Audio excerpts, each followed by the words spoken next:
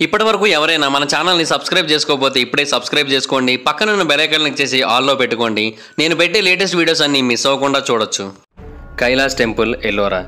ఎల్లోరా గుహల దగ్గర ఉన్న ఈ కైలాస్ టెంపుల్ ఈ ప్రపంచంలోని అత్యంత అద్భుతమైన టెంపుల్స్లో మొదటి స్థానంలో ఉంటుందనడంలో అసలు ఏమాత్రం సందేహం లేదు. ఎందుకంటే ఈ టెంపుల్ని ఒక పెద్ద పర్వతాన్ని చెక్కారు. అది కూడా సింగిల్ స్టోన్. మల్టిపుల్ స్టోన్స్ ఉన్న మౌంటైన్ కూడా కాదు సింగిల్ స్టోన్ మౌంటైన్ చెక్కడం ద్వారా ఈ ఆలయాన్ని నిర్మించారు. ఈ ఆలయంలో చాలా రహస్యాలు దాగి ఉన్నాయి చాలా అద్భుతమైన విషయాలు దాగి ఉన్నాయి. వాటన్నిటి గురించి కనుక మనం తెలుసుకున్నట్టయితే ఇప్పటి వరకు మనం తెలుసుకున్న చరిత్ర కంప్లీట్గా రాంగ్ అని అర్థమవుతుంది.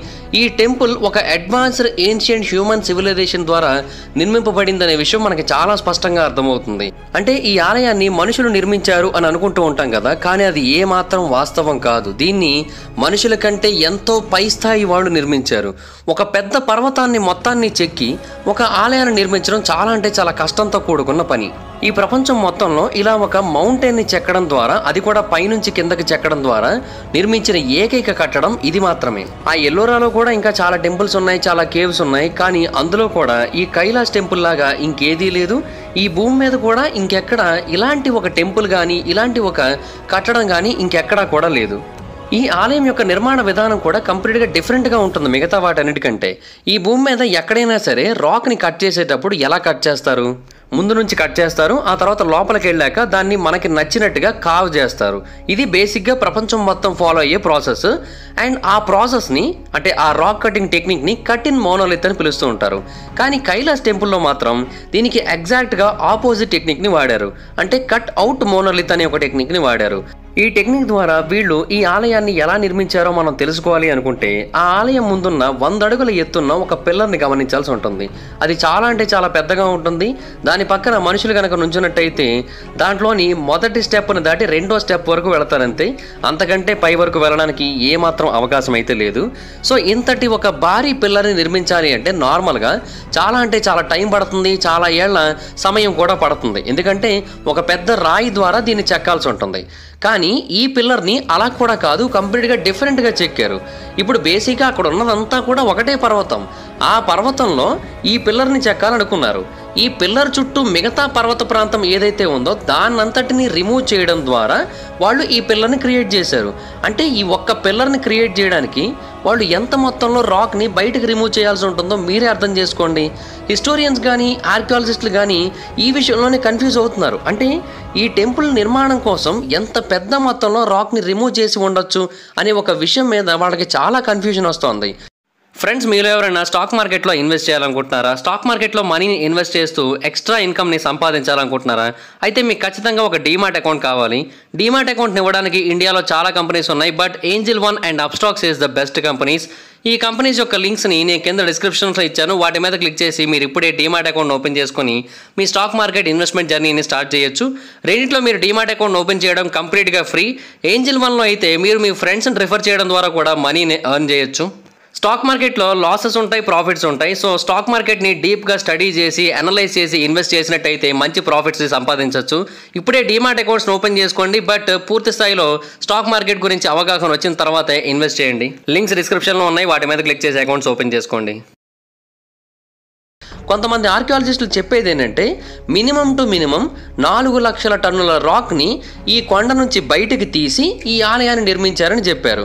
ఒకసారి మనమే ఆలోచిద్దాం నాలుగు లక్షల టన్నుల రాక్ని తవ్వాలి అంటే ఒక కొండ నుంచి దానికి ఎంత పెద్ద సంఖ్యలో హ్యూమన్ లేబర్ కావాలి ఎన్ని శతాబ్దాల సమయం కావాలి?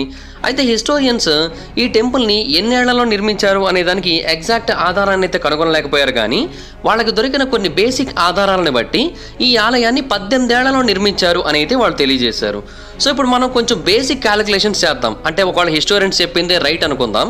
పద్దెనిమిది సంవత్సరాల పాటు ప్రతిరోజు రోజుకి పన్నెండు గంటల చెప్పున ఎటువంటి బ్రేక్స్ తీసుకోకుండా పని చేశారు అనుకుందాం. ఇన్ఫ్యాక్ట్ నేను వర్షాలు పడిన రోజుల్ని ఫెస్టివల్స్ని యుద్ధాలు జరిగిన సమయాల్ని వీటన్నిటిని కూడా తీసేస్తున్నాను. అక్కడ అక్కడ మనుషులు రోబోల్లాగా ఏడాదిలో మూడు వందల అరవై ఐదు రోజులు పనిచేశారని అనుకుందాం. అంతేకాకుండా అక్కడ కొన్ని అద్భుతమైన కార్వింగ్స్ని కూడా చెక్కారు. ఆ పిల్లర్ మీద కానీ లేదంటే ఆ టెంపుల్ మొత్తంగా కానీ వాటన్నిటి మీద కూడా చెక్కారు. అంతేకాదు ఆ గుడి యొక్క నిర్మాణంలో చాలా కాంప్లెక్స్ ఇంజనీరింగ్ డిజైనింగ్ ఉంది. చాలా అద్భుతమైన ప్లానింగ్ కూడా ఉంది ఆ రాక్ మొత్తాన్ని రిమూవ్ చేయడానికి. సో వాటన్నిటికీ ఎంత టైం తీసుకున్నారనేది కూడా పక్కన పెట్టేద్దాం. ఇవన్నీ పక్కన పెట్టేసి మనం ఆలోచించినా కూడా నాలుగు లక్షల టన్నుల రాక్ని పద్దెనిమిది సంవత్సరాలు రిమూవ్ చేయడానికి ఇరవై రెండు వేల రెండు వందల ఇరవై రెండు టన్నుల్ని ప్రతి ఏడాది రిమూవ్ చేయాల్సి ఉంటుంది. ఆ లెక్కను చూసుకున్నట్టయితే ప్రతిరోజు అరవై టన్నుల రాక్ని రిమూవ్ చేయాల్సి ఉంటుంది. అంటే రోజుకి పన్నెండు గంటలు చెప్పుని చూసుకున్నట్టయితే గంటకి ఐదు టన్నుల రాక్ని రిమూవ్ చేయాల్సి ఉంటుంది. ఇదంతా కూడా సాధ్యమేనా? ఈవెన్ ఇప్పటికీ కూడా సాధ్యం కాదు. ఇప్పుడు మన దగ్గర మోడర్న్ టెక్నాలజీ మోడర్న్ మెషిన్స్ చాలా ఉన్నాయి. వాటన్నిటిని ఉపయోగించి కూడా మనం ఒక మౌంటైన్ నుంచి ఒక గంటకి ఐదు టన్నుల రాక్ని బయటకి తీయలేం. ఇప్పటి కాలం నాటి మనుషులకి ఇది సాధ్యం కాలేదు అంటే ఒకప్పటి కాలంలో ఇటువంటి అడ్వాన్స్డ్ మెషిన్స్ ఏమీ లేనప్పుడు మనుషులకి ఎలా సాధ్యమైంది? ఒకవేళ అది మనుషులకి సాధ్యం కాలేదు అంటే మరి ఎవరు చేసినట్టు? ఎక్స్ట్రా టెరెస్ట్రియల్ పీపుల్ యొక్క సహాయంతో ఈ ఆలయాన్ని నిర్మించారా? అంటే ఏలియన్స్ ఈ ఆలయాన్ని నిర్మించారా? లేదంటే ఈ ఆలయాన్ని భగవంతుళ్ళే నిర్మించారా?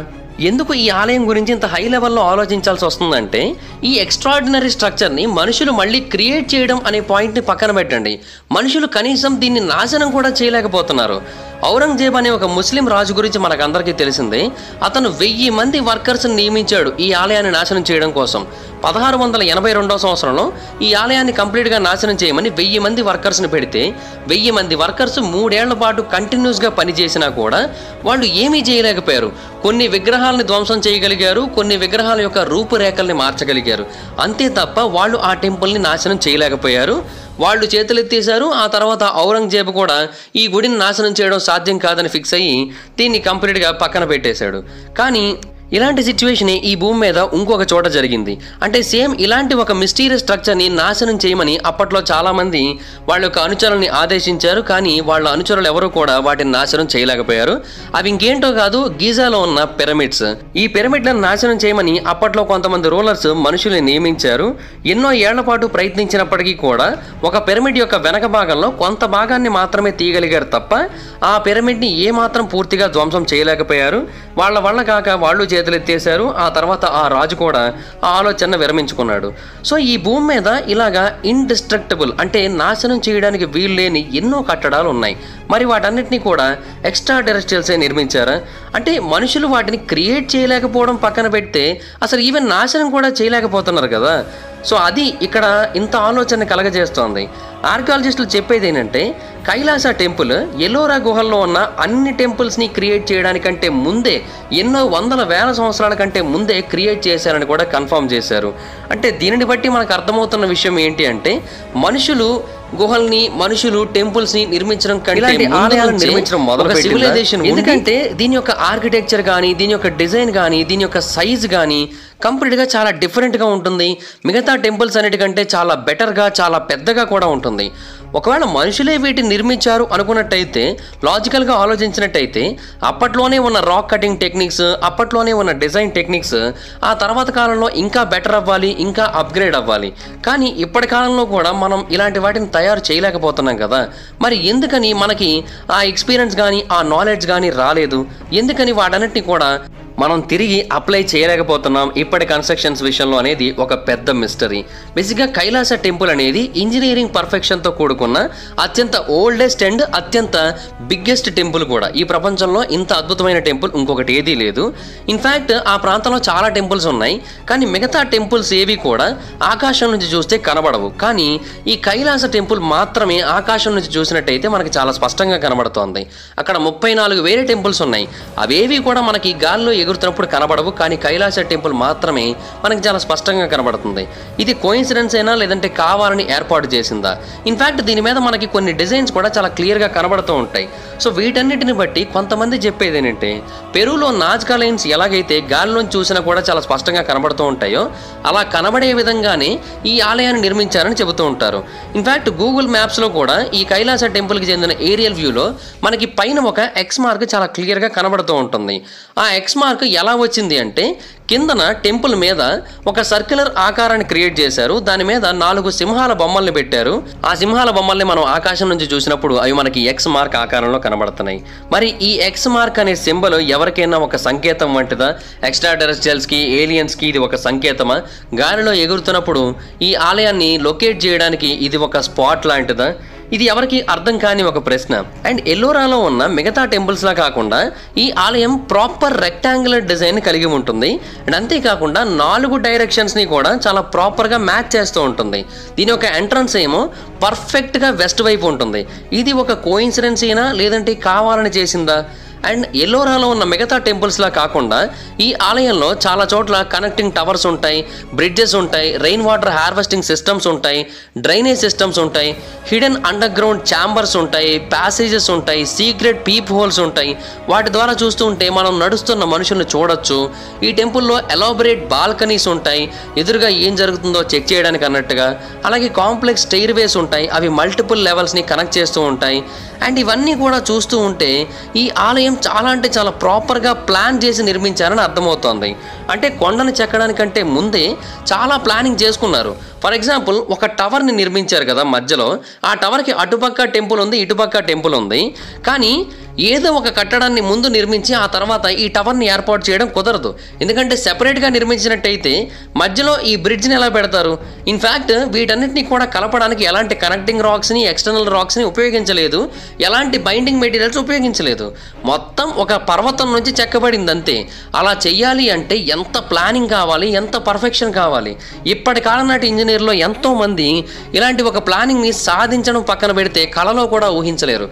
అంతటి అద్భుతంగా ఉంది సో ఇన్ని తెలుసుకున్న తర్వాత కూడా ఈ ఆలయాన్ని చిజల్స్తోని హ్యామర్స్తోని పికాక్సెస్తోని నిర్మించారంటే మనం నమ్మాలా? అది కూడా పద్దెనిమిది సంవత్సరాల్లో నిర్మించారంటే మనం నమ్మాలా? మ్యాథమెటికల్ ఆర్కిటెక్చరల్ నాలెడ్జ్ లేకుండానే నిర్మించారంటే మనం నమ్మాలా? సో ఇవేవి కూడా సాధ్యం కాదు. కైలాస్ టెంపుల్ ఒక అడ్వాన్స్డ్ సివిలైజేషన్ చేత నిర్మింపబడింది. ఆ అడ్వాన్స్డ్ సివిలైజేషన్ భూమి మీదకి వచ్చింది భూమి మీద నడిచింది భూమి మీద నిర్మాణాలని చేసింది. కానీ వాళ్ళు మనుషుల రూపంలో ఉన్న అడ్వాన్స్డ్ సివిలైజేషనా? లేదంటే నేరుగా దేవుళ్ళే ఈ ఆలయాన్ని నిర్మించారా? లేదంటే ఏలియన్స్ ఈ ఆలయాన్ని నిర్మించాయా? ఇప్పటికీ కూడా ఈ ప్రశ్నలన్నీ ప్రశ్నలుగానే మిగిలిపోయాయి. అందువలన ఈ కైలాస్ టెంపుల్ యొక్క నిర్మాణం ఇప్పటికీ కూడా ఒక మిస్టరీగానే మిగిలిపోయింది. ఈ ఆలయం మీద ఎన్నో వేల పరిశోధనలు జరగాల్సి ఉంటుంది. దీని యొక్క మిస్టరీ వేడాలంటే ప్రస్తుతానికి అవేవి కూడా ఇంకా పూర్తి స్థాయిలో జరగట్లేదు కాబట్టి ఇంకా ఇది ఒక అన్సాల్వ్డ్ మిస్టరీగానే మిగిలిపోయింది. మీరేమనుకుంటున్నారు? కైలాస్ టెంపుల్ని అడ్వాన్స్డ్ సివిలైజేషన్ వాళ్ళు నిర్మించారనుకుంటున్నారా? భగవంతుళ్ళే నిర్మించారనుకుంటున్నారా? లేదా ఏలియన్స్ వచ్చి నిర్మించారనుకుంటున్నారా? మీ అభిప్రాయం ఏంటో కింద కామెంట్ సెక్షన్లో తెలియజేయండి.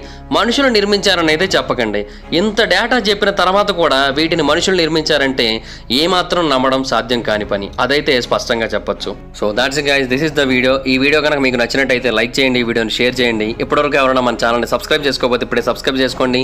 పక్కన బెల్లైకాన్ సాల్వ్ పెట్టుకోండి. నా ఫాదర్స్ మిస్ అవ్వకుండా చూడొచ్చు. చాలా మంది చూస్తారు కానీ సబ్స్క్రైబ్ చేసుకోవట్లేదు. So please to subscribe and click the bell icon also నా ఇన్స్టాగ్రామ్ ఐడి జబర్దస్త్ మహిదర్. మీ అక్కడ కూడా వచ్చిన ఫాలో అవ్వచ్చు. Thank you so much guys bye bye no meet you next video bye bye friends మీరు ఎవరైనా స్టాక్ మార్కెట్లో ఇన్వెస్ట్ చేయాలనుకుంటున్నారా? స్టాక్ మార్కెట్లో మనీని ఇన్వెస్ట్ చేస్తూ ఎక్స్ట్రా ఇన్కమ్ని సంపాదించాలనుకుంటున్నారా? అయితే మీకు ఖచ్చితంగా ఒక డీమాట్ అకౌంట్ కావాలి. డీమాట్ అకౌంట్ని ఇవ్వడానికి ఇండియాలో చాలా కంపెనీస్ ఉన్నాయి but angel one and Upstox is the best companies ఈ కంపెనీస్ యొక్క లింక్స్ని నేను కింద డిస్క్రిప్షన్స్లో ఇచ్చాను. వాటి మీద క్లిక్ చేసి మీరు ఇప్పుడే డీమాట్ అకౌంట్ ఓపెన్ చేసుకొని మీ స్టాక్ మార్కెట్ ఇన్వెస్ట్మెంట్ జర్నీని స్టార్ట్ చేయొచ్చు. రెండింటిలో మీరు డీమాట్ అకౌంట్ ఓపెన్ చేయడం కంప్లీట్గా ఫ్రీ ఏంజిల్ వన్లో అయితే మీరు మీ ఫ్రెండ్స్ని రిఫర్ చేయడం ద్వారా కూడా మనీని ఎర్న్ చేయొచ్చు. స్టాక్ మార్కెట్లో లాసెస్ ఉంటాయి ప్రాఫిట్స్ ఉంటాయి. సో స్టాక్ మార్కెట్ని డీప్గా స్టడీ చేసి అనలైజ్ చేసి ఇన్వెస్ట్ చేసినట్టయితే మంచి ప్రాఫిట్స్ని సంపాదించవచ్చు ఇప్పుడే డీమాట్ అకౌంట్స్ని ఓపెన్ చేసుకోండి బట్ పూర్తి స్థాయిలో స్టాక్ మార్కెట్ గురించి అవగాహన వచ్చిన తర్వాతే ఇన్వెస్ట్ చేయండి. లింక్స్ డిస్క్రిప్షన్లో ఉన్నాయి వాటి మీద క్లిక్ చేసి అకౌంట్స్ ఓపెన్ చేసుకోండి.